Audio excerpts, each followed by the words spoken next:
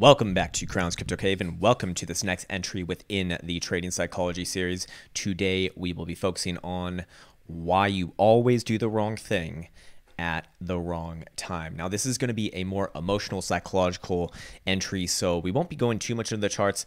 However, when talking about these sorts of things, we need to really do a deep dive into human psychology. And why is it that we seem to do the wrong thing at the wrong time? Well, typically most most of the time these things are derived from fear.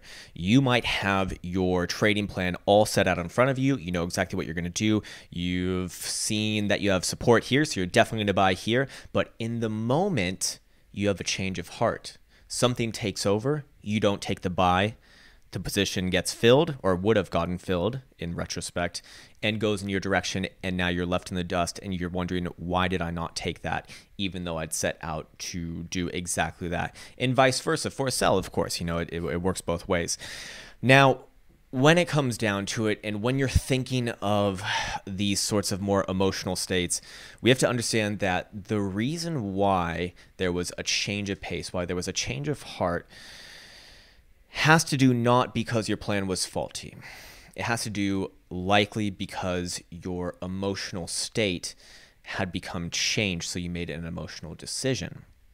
When you're first creating your plans, you're likely in a logical state. You're in an analytical mind. You are thinking with you, you, you are thinking with a goal in mind. You are thinking based off of likely some form of technical analysis or whatever it might be. You have very strict and likely rigid rules with regards to that. So of course, I'm going to use the example of technical analysis, and let's just say I, I suppose we can go to live scene here, and let's just say naked chart I'm going to be a seller at, uh, uh, I'm going to be seller at this area right here. We had just put in this high and then it pops back in um, early January, right back to that same area. And you say, you know what, I got a nice resistance right there and I'd like to be a seller because I, I feel like, well, we're still in a bear market and time to, uh, I'd, I'd rather take advantage of that as I'm more, more than happy to be a seller on resistance um, anytime you're in an overall downtrend. Fair point. I would say the same thing. Now, what a lot of people did during this time was they had planned this out after putting in this first high. You know, price action spends about a couple weeks coming down, filling out this area, which is probably when you're in that more logical state, looking at it from afar, planning this sort of thing out. You can very, very, very clearly see that there's some sell pressure around this area. And when price action actually does boost back up into this area, albeit very very rapidly actually. Um, very low volume on it but actually pretty damn rapidly as far as the uh, as far as the timing of when this move was put in. And then you have a change of heart right on that move. You say wait a second. I i don't want to sell this anymore. I i, I think i want to maybe even buy. And that's really when the really when the problem confounds. But let's just go with the more base assumption first that you don't stick to your original plan of being a seller right there. Why do you do that? Why did you do that well, you've got into an emotional state and now you have a fear. You have a fear likely of loss in this scenario. You don't want to lose. You don't like taking a losing trade, which no one does. But of course, in a good trading plan, and something that I want to really purport and really get across, especially in a series like this, losses are inevitable. So that should be a soothing fact rather than something that causes anxiety. Because when you're feeling anxiety, when you get into that fear provoked state, you will no longer be thinking logically. You cannot think logically. In fact, it is a it is a biological physiological fact that when you get into more emotional fear-based states, your your autonomous logical side of the brain does turn off and you're no longer thinking like that. You quite literally can't think logically. So even though you did all the planning over here, you had it all set out, you felt like you knew what was going on, and in rich and you know obviously in 2020 hindsight you had you had a great trade if, if, if you were going to take it. Once price action gets there and you start feeling that fear it's like that never happened. Because remember you are now blocked off from thinking in that logical state. You are now in essentially what, what is a flight or flight uh, mode if you're, if you're familiar with those sorts of uh, modes of thinking you know, your, parath- your parasympathetic system and your sympathetic thinking system. So or sorry, emotional system. So, emotionally and cognitively speaking, we want to always avoid getting into these more fear-based states because it, it's a it is a fact. It is a biological fact that you will not make the right logical decision when you are in an emotional state of fear. You just want to you just want to get out of the way. You just want to essentially avoid. It's typically what happens, especially in you know, especially in uh, trading. It's you don't really have anything to fight. I mean, some people try to fight the market, I suppose, um, in maybe a clever turn of phrase. But really, what te- what people try to do is they try to avoid, which is more of a flight type response now, isn't it? So, in order to avoid this, what can you do? What should you do? Well, there's no right or wrong answer for this. The right or wrong answer is reliant upon you. For myself, what I've found the best the the best way to avoid any sort of fear-based state or to keep me in a more um, autonomous and logic-based state with putting reality first rather than putting my emotional state, my emotional conditioning, my emotional filter on on life first is to make sure that I take care of myself. So that for me includes eating, you know, eating healthily, eating well, essentially eating clean. For myself, I, I typically go towards low carb based diets. Again, this is not, you know, a, uh, a health channel or anything like that, but I found that when I don't eat carbs, I typically have a, a much more steady state of, um, of, of thinking. I'm not really like going up and down here and there. I'm not really having those blood sugar spikes. I also like to go to uh, and have some physical exertion. So I like lifting weights. That could also be, you know, going for a jog, going for a run, you know, doing whatever it is to physically stress yourself because we, again, and we're going to go a little bit deeper here now. We as humans are not to i mean we are animals. We are animals in the most basic sense of it. And we evolved throughout millennia of millennia with being pretty damn active. So we had built up systems within ourselves that reward us for essentially exerting ourselves because exerting ourselves not only implies that we're probably getting closer to where we want to go, but it also implies that we're going to be overall healthier as far as a more physiological sense which has carryover into your psychological sense.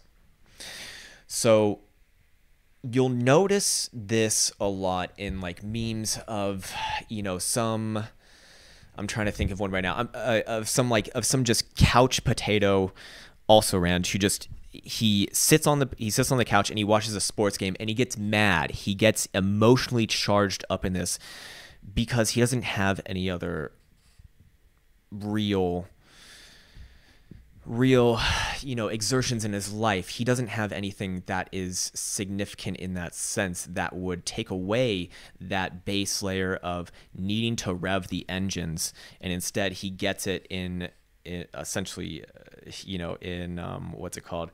Uh, vicariously from watching you know people on tv which is not which is obviously not the same as you know going out and doing it yourself you know, watching people play like a, you know football or whatever it might be, whether you're watching American or European football, you're not getting the same. Someone watching the sport is not getting the same sort of experience as someone actually playing the sport. However, emotionally, he is getting worked up very easily because he's not exerted himself in the same sense. Perhaps a little bit of a uh, little bit of a doctored example, but my point is is that when are you at your most relaxed? Well, for myself, I know that I'm at my most relaxed, and a lot of people that I know, and you probably notice this yourself as well, after physically exerting yourself pretty damn hard. It's hard in the moment, you're feeling taxed in the moment, but afterwards, it's like it's like you have like a just a flush of, of of relaxation come across you. And that's the mode you want to be coming from relaxation. Relaxation is the cure to this sort of emotionally driven problem of feeling like you're you know you're going to miss out or, or having a fear of it's the wrong position now or a fear of loss or whatever it might be. It's the relaxation knowing that well you made your logical you made your logical plan beforehand. As long as you can stick to that you will be fine. Assume, and this is obviously making the assumption that you have sound technical analysis, that you have sound uh, risk reward management, sound position management, all those sorts of things. But this is obviously psychologically focused, not trading focused. Which, again, you know. once you have all the right trading know-how, I think it's really just conditioning your emotions to get in the right position, which is the only thing that's going to separate from you and prolonged success over time. But remember, logically speaking, we know that with good risk management, with good technical analysis, over the long period of time, over many diff- over many um, samples, you will likely be successful, assuming that all those things are in place. your edge should, should produce that with more and more repeated repetitions. Which is just another redundant redundant term from my for my apologies about that. My point is, is that understanding and accepting that fact will help take you away from that from those emotions. And then whatever is needed on top of that to get you into that base state of relaxation will just will just propel you further and further towards playing out your plan and making it easier. So that is just second nature. With this sort of a thing with this sort of a thing it is really a journey about getting to understand yourself. So a lot of people have vices like you know like i said. So i'm just sharing mine. My vices essentially you know physical exertion eating well uh, meditating, a really, really strong one, going for walks, reading books, listening to lectures, um, and all those sorts of things help calm are, are calming to me. I feel like I am, I feel like I am doing what I need to do in order to take care of my more monkey side, monkey sided conditioning. Because remember, when we're talking about these sorts of con- emotional conditions, we are relating ourselves back into primordial states of, of, of, human beings, which just cannot be avoided. We are conditioned with this to the core, even probably before we became humans, you know, going further, further back down the line. Now, I'm no biologist myself. Um, I just read a ton of this, uh, a ton of this sort of literature. Um, so take this, you know, I'm probably getting a few things uh, here, uh, here and there wrong. My point is, though, is that in order to get rid of those primordial emotional conditionings, which we typically have in today's world, you know, still in today's world, even though we don't still have the same sort of stressors that that that that early prototypical humans had, we still have the same emotional responses. So what does that mean? I mean, in practice, that's basically saying, you know, when humans first came around, they had a lot of things to worry about. I mean, people didn't last all that long. I would imagine people, you know, you were running. I mean, tigers were a big problem. Tig- lions and tigers were killing people left and fucking right. Snakes were killing people left and right. You know, that's why we typically have an innate fear of snakes. Actually, it's it goes that deep. They're jacking people up. My point is, is that it was a, it was an evolutionary um, advantage back in those back in those times to be, to get into that flight or fight responsive state relatively fast. It was an advantage to be super relaxed at the same point in time. but that's why you kind of like relax after exerting yourself because then you, you know it's like it's like you're telling your biological system that you're getting away or you're in good fitness to get away from a legitimate uh, legitimate uh, what's it called um, uh, threat threat to your overall being which causes those emotional states so in today's world, when we don't, we really, really don't have those those physical threats anymore. I mean, people aren't really getting killed by like lions and tigers and snakes and and, and that kind of shit all the time. Uh, it's pretty rare. I mean, people typically die of of old age or like stress related diseases, but remember these like they're not really dying of running away from predators or anything like that. So we still have these systems set up to help propel us in that direction of of of not having to of, or sorry uh, to propel us in the direction of rewarding us for getting away from those more physical uh, those more physical dangers but we don't have those physical dangers anymore so how does it go now well we get worked up over nothing. So going back to that example of that couch potato getting worked up over a football game, well, he's getting worked up because he doesn't have any other legitimate stressors in a li- in his life, so he's ready to go at any given moment.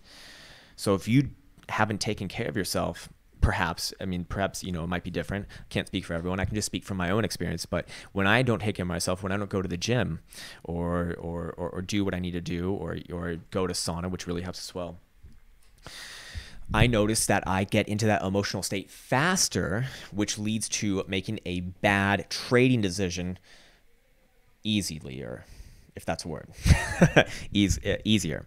Um, so again, it is so damn important to take care of that and to take care of your mind and your body as those evolutionary, what were evolutionary advantages to have to have responses like that, stress responses like that, are not going to be an advantage in this game we want to be as calm, as relaxed as possible. Now, I know during my live streams I get pretty worked up. You know, I am having fun. That's pretty that's a caricature of how I really am when I'm trading by myself. I'm pretty, you know, speaking more like this, a little bit on a slower tone, a little bit more relaxed or significantly more relaxed. And I know that if I can just play out my strategy over time, well, that's that's what's going to make gains, not not, you know, getting an emotional state and doing the wrong thing essentially. So again, I hope that this one finds you well. Understand the relation between your emotional cognitive cognitive systems and understand what it takes for you to take care of that and put you in a more relaxed state so that you will not get caught up in these emotional states which block you quite literally from thinking in the right way and feeling the right emotions when a trade is coming up whether it goes for or against you. That's going to do it for this one and i'll see you in the next one. Take care